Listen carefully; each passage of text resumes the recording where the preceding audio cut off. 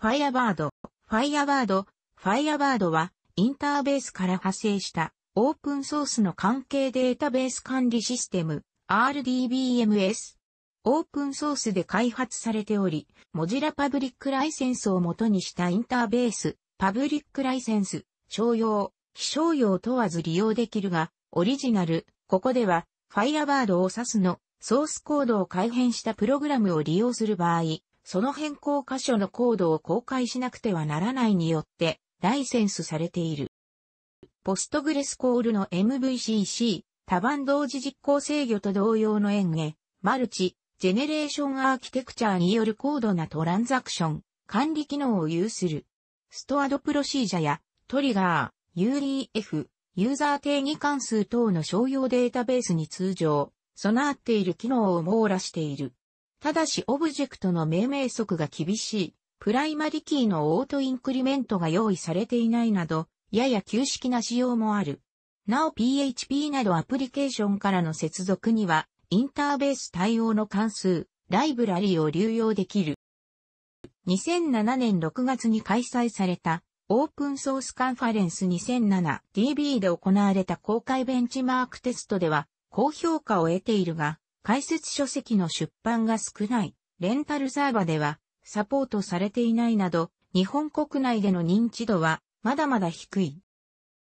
特筆すべき機能として、優勝ではあるが、米 IB フェニックス社の IBIP レプリケータを導入し、GUI 上から設定することにより、IP ネットワークで接続された複数の Firebird 同士で同期処理を行なことが可能となる。これはトリガーの機能を応用したもので、更新された箇所を同期処理用のテーブルに蓄積し、蓄積内容を設定された別の Firebird に対し定期的に送信するというものである。この他にも Firebird のレプリケーションソフトは多数存在する。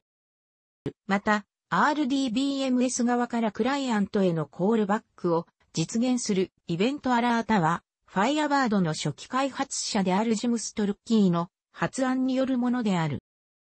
Firebird は一般的な C、S、クライアントサーバーのデータベースとしての利用のほか、データベースライブラリーとしても利用でき、生成されるデータベースファイルも一つの OS ファイルであるため、アプリケーションへの組み込みが容易である。組み込んだ例としては、LibreOffice Base の4.2項で Firebird Embedded が利用できる。Windows 版には専用のインストーラが用意されている。Linux 版もダウンロードパッケージに含まれる。インストール SH を実行すれば自動的にオプト以下にインストールされる。ただし S コールコマンドを使う場合、実行環境、フェドラなどによっては同名の全く別のプログラムが起動してしまうので、S コールになど重複しない別名のシンボリックリンクを作成しておく必要がある。2000年6月25日、ボーランドからインターベース6.0のソースコードが公開され、それから1週間のうちに、ソースフォージに Firebird プロジェクトが登録された。2002年3月11日、Firebird 1.0が Linux、Windows、MacOS 10向けにリリースされた。それから2ヶ月後には、Solaris、FreeBSD 4、HPUX へも移植された。モジラファンデーションの新ブラウザが登場した際、一時期モジラ Firebird の名称を使用したため、多少の混乱があったが、2004年2月10日に mozilla.org が、ブラウザの名称を、モジラ Firefox に変更したことで決着した。2004年2月23日、Firebird 1.5がリリースされた。ポーティングのため2000年より、ソースコードを C 言語から C へ変更する開発が行われてきたが、このリリースは初めて C コードベースを使安定版である。クエリ最適化の改良、SQL92 準拠の式、準拠のセーブポイント、明示的なロックが追加された。2006年11月12日、Firebird 2.0がリリースされた。64ビットアーキテクチャのサポート、フロムクでの入れ子テーブル、ロック時のタイムアウトでの式の利用が追加された。さらに、バージョン2.1にて、データベーストリガ、再帰クエリ、準拠のマージ文が追加された。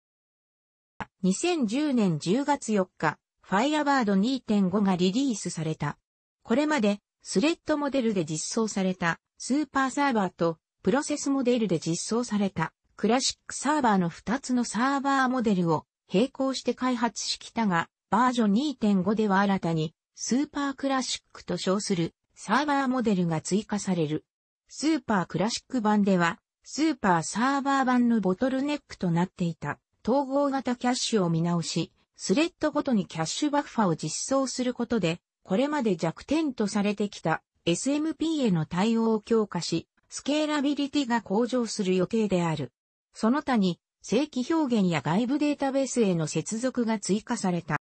2016年4月19日、Firebird 3.0がリリースされた。これまで、スレッドモデルで実装されたスーパーサーバーとプロセスモデルで実装されたクラシックサーバーの2つのサーバーモデルを並行して開発し、バージョン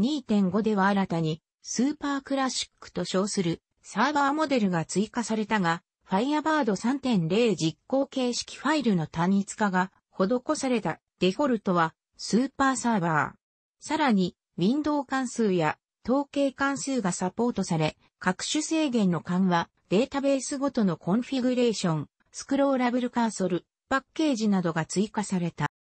楽しくご覧になりましたら、購読と良いです。クリックしてください。